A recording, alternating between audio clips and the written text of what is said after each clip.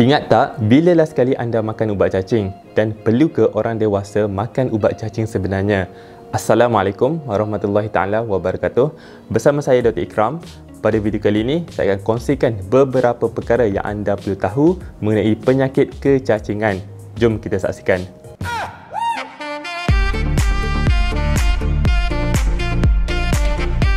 Pada video kali ini, saya akan menjawab beberapa soalan mengenai penyakit cacing dan apakah ubat cacing yang sesuai untuk digunakan.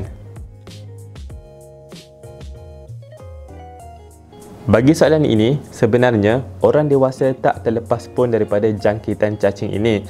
Tapi ia komen berlaku di kalangan kanak-kanak kerana kanak-kanak ini kurang kesedaran akan kebersihan dan pertahanan badan kanak-kanak ini lemah berbanding dengan orang dewasa. Ia akan menyebabkan cacing itu senang masuk ke dalam badan.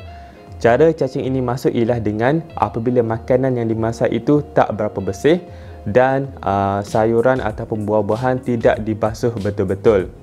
Minum minuman yang tak dimasak air yang kotor dan pelbagai lagi. Jadi ini semua faktor yang menyebabkan seseorang itu boleh terkena penyakit kecacingan dan disebabkan faktor-faktor inilah kanak-kanak lebih banyak terkena cacing berbanding dengan orang dewasa. Jangkitan cacing yang paling biasa ialah seperti cacing gelang iaitu roundworm, cacing kerawit, cangkuk iaitu hookworm, cacing benang threadworm dan cacing pita iaitu tapeworm. Seseorang individu itu mungkin dijangkiti lebih daripada satu jenis cacing kerana kebanyakan cacing ini hidup dan membiak dalam keadaan tanah yang sama. Banyak sebenarnya simptom atau gejala yang boleh terjadi sekiranya person itu ada masalah cacing. Ianya boleh menyebabkan simptom gastrointestinal. Apa maksud gastrointestinal? Ia mungkin menyebabkan sakit perut, loya-loya, muntah, kembung di bahagian perut dan juga cerit-berit. Ada setengah cacing itu, ia akan menghalang absorption ataupun penyerapan di bahagian usus. Dan bila keadaan ini berlaku, nutrisi ataupun makanan tak dapat diserap sepenuhnya ke dalam badan dan kurang darah merah mungkin berlaku kepada pesakit. Kurang darah merah ini menyebabkan simptom ataupun gejala seperti lemah-lemah, cepat letih, susah nak fokus dan lain-lain simptom yang akan menyebabkan kualiti hidup pesakit itu akan terjejas. Bagi soalan ini, contoh ubat yang boleh diambil ialah albendazole.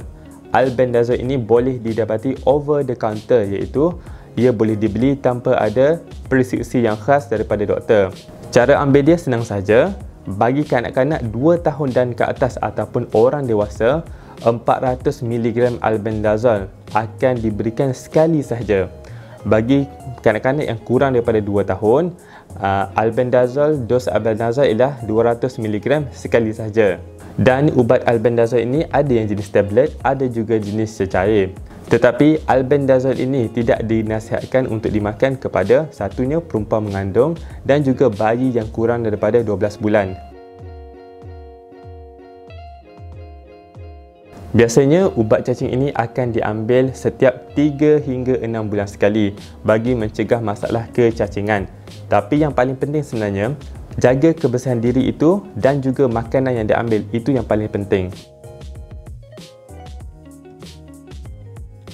Antara cara mencegah masalah kecacingan ini adalah seperti yang macam saya bagi tahu sebelum ini ialah seperti satunya iaitu jaga kebersihan diri dan juga persekitaran anda. Sentiasa basuh tangan ini dan basuh itu biarlah betul-betul dan sempurna. Kalau nak ikutkan celah dan bawah kuku ini biar basuh betul-betul sebelum makan. Sekiranya berada di luar rumah, nasihatkan kanak-kanak itu gunakan kasut ataupun slipper. Jangan berkaki ayam. Seterusnya, semasa penyediaan makanan ataupun semasa makanan itu dimasak, jaga kebersihan makanan itu dan daging dan ikan yang kena masak itu biarlah betul-betul masak dan juga sempurna. Bagi sayur-sayuran dan buah-buahan, basuh betul-betul sebelum makan dan kalau ada binatang peliharaan di rumah, seeloknya lakukan juga deworming iaitu ubat bagi menyahkan cacing di dalam binatang tersebut. Dan kalau anda sendiri yang handle najis haiwan tersebut, gunakan sarung tangan semasa uh, membungkus dan membuang uh, najis haiwan itu dan selepas itu basuh tangan ini betul-betul. Saya rasa sekian sahaja buat kali ini. Saya harap anda semua dapat sedikit info mengenai masalah kecacingan. Sekiranya anda rasa video ini bermanfaat dan berguna untuk anda, anda boleh tekan like kepada video ini dan subscribe kepada channel ini. Last sekali saya ucapkan terima kasih kerana menonton. Assalamualaikum.